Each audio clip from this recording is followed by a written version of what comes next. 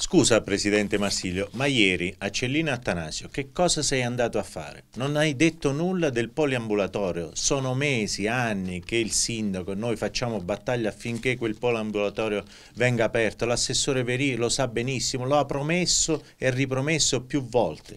Siamo a soli tre mesi dalle elezioni regionali. Lei si reca con la sua giunta presso il comune di Cellina Attanasio e non dice nulla, non rassicura i cittadini, il sindaco, la giunta, l'amministrazione comunale circa l'apertura di quel poliamboratorio più volte richiesto e pronto da tanto tempo.